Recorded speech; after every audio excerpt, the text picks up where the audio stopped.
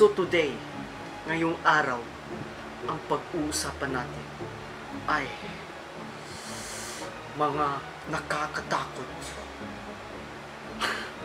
So for today's video, pag-uusapan natin ang mga nakakatakot na pangyayari sa loob, hindi sa labas. Dalawang beses na yan!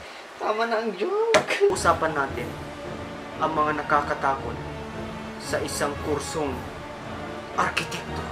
Pero before that mga mata, magkwekwento muna ako ng mga nakakatakot ayon sa aking experience. Sa mga nakakakilala sa akin, isa akong matatakutin mula pa nung bata. Tuwing nakakakita ko, alam niyo yun, tuwing nakakakita ako ng mga nakasampay na damit na puti, 'di ba? Nakakatakot lalo na pag madilim. Akala mo white lady. Yung pala damit. damit na sinampay ni Lola. At wag na nating patagalin ang kwento. Simulan na natin. Dahil ako ay natatakot. Madilim dito. Kaya samahan niyo ko mga kamata. Ang kwentong ito ay aking naranasan lamang nung nakaraang buwan. Meron kaming isang kapitbahay. Diyan sa tabi ng bahay. Malamang kapitbahay. na madilim ang lugar na kung saan tuwing gabi maraming nagkikwento na pag dumadaan ka sa harap ng bahay na yun ay tumataas ang balahibo mo. Nung araw na yon, dumaan ako sa bahay na yun at parang may nakita akong white lady. Naramdaman ko na parang may multo, maas lahat ng balahibo. At yun na, biglang bumilis ang aking takbo patungo dito sa bahay. At lumipas ang ilang araw, nalaman ko na lang, no? Nalaman ko na lang na may nakatira doon at naglaba tapos sinampay hindi na nabalikan. In short, isang damit na puti na nakasampay sa bahay ang naiwan doon. Kaya simula noon, hindi na ako natakot. At ito, hindi ko alam kung matatakot pa ako dito kasi wala akong kasama. So samahan niyo po mga kamata, huwag na nating patagalin at mag-proceed na tayo sa ating topic tungkol sa mga nakakatakot na pangyayari sa kursong architecture. By the way mga mata, kung ngayon ka lang manunood sa aking channel at hindi ka pa nakasubscribe, beka naman, tawagin mo yung multo dyan at sabihin mo, pakigalaw ang subscribe button. at yun lang, tayo na at mag-umpisa sa ating limang nakakatakot sa kursong architecture. Kung may maririnig man kayong tunog na parang nakakatakot, ay pawang sounds effect lang. Kaya, huwag kayong matakot. Kasi natatakot na. Takot na ako eh. Parang ayaw ko na yung tuloy ito. Pero sige, dahil sinasamahan niyo ako sa video na to, ay itutuloy ko. Ang unang kinakatakutan natin dito ay ang tinatawag natin sleep. Alam natin na ang pagtulog ay napakahalaga. Katakot ito kasi sa kursong architecture, sinasabi nila na normal lang na walang tulog.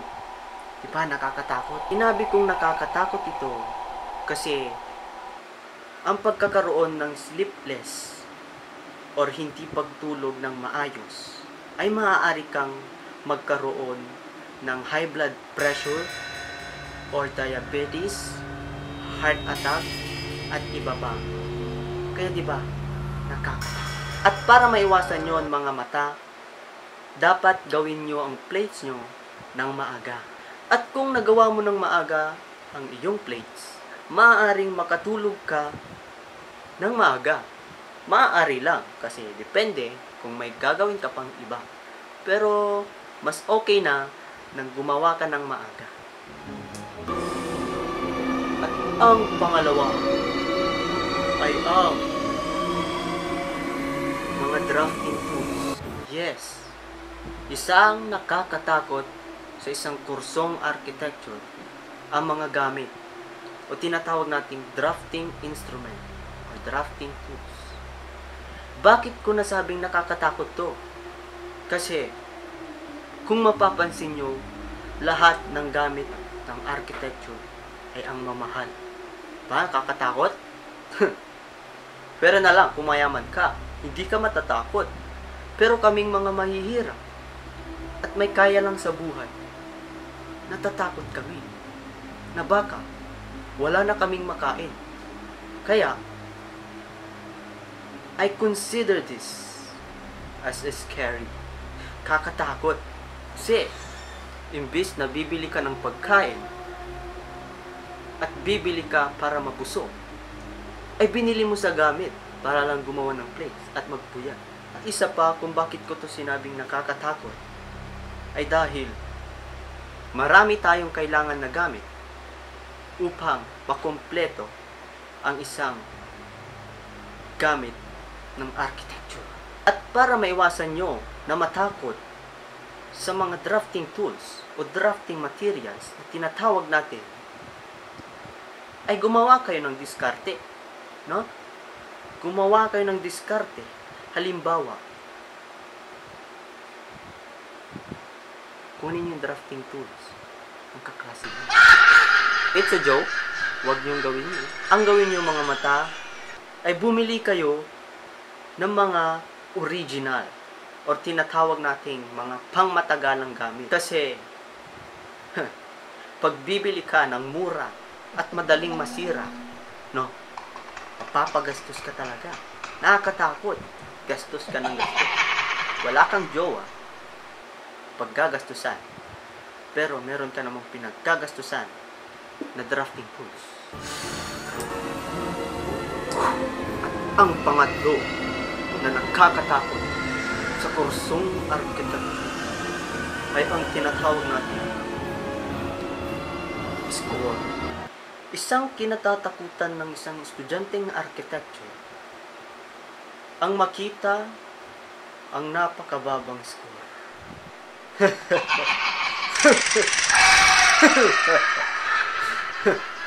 Kakatakot, di ba? Kakatakot. Kasi yung pinagpuyatan mo, yung ginawa mo ng ilang oras at hindi ka nakatulog, makikita mo na lang sa plate mo ang 5 over 50. di ba, lupet? Masaya ka na lang kung nakalahati mo. Pero, yung 20 over 100, no? Parang sayang ang tuition mo. Nakakatakot. Bakit ko sinabing nakakatakot to? Kasi marami ng estudyante na biktima nito. Marami ng estudyante na paiyak nito. Tulad ko. eh, eh, eh, eh. At para maiwasan ito, mga mata, at para maiwasan ang mababang score, syempre, pagandahin nyo ang plate nyo. At, bigyan nyo ng effort. No? At, wag na wag kang magpasa ng late. Ganon. At ang pang-apat, mga kamata, ay ang tinatawag nating play. Kakatakot ang play. Dahil sa tipong tapos ka na at naipasa mo na, ay biglang may darating na kakaiba. Kakaibang play. diba? Yung tapos ka na at magpapahinga ka na, sana gusto mo nang matulog ng maaga, ay biglang may darating na hindi mo inaakala. At ang due date ay tomorrow. diba ang saya? At Ha, mga kamata ay ang tinatawag natin. Hulaan nyo. Ito ay ang tinatawag natin. Oras. Kakatakot ang oras pag alam mo unti na. Sana ganun, no? Kung may jowa ka, dapat alam mo kung unti na ang oras na kayo ay magsasama para makapaghanda ka. Well, ang oras ay nakakatakot kung hindi mo ito bibigyan ng halaga. Kaya, ikaw kapatid na nanonood dito, habang may oras pa at nanonood ka ngayon, baka naman, i-hit mo na ang subscribe button at para hindi ka mawalan ng oras at para hindi ka multuhin mamayang madaling araw at sasabihin sa iyo ng multo na mag-subscribe ka dito sa pinanood mo. at ayun lamang ang limang nakakatakot sa kursong architecture. At kung nabitin ka at sa tingin mo meron pang ibang nakakatakot, just comment below, Beke, gumawa ako ng bagong content ng Halloween. At kung may nakita ka man sa gabi na isang puti na parang walang ulo, huwag kang matakot kapatid. Yun ay pawang sinampay lamang. And without being said, dito ko natatapusin ang nakakatakot na video na ito dahil ako ay kinikilabutan na dahil madilim dito mga mata. Tingnan natin, baka may multo sa labas. May nakita akong puti, pero hindi ako natakot. Kasi, baka sinampay lang yun. baka sampay lang yun ni Lola. And anyway, I hope you like the video and sana hindi kayo natakot dahil pawang katotohanan lang to at pawang nakakatakot lang ang kursong architecture.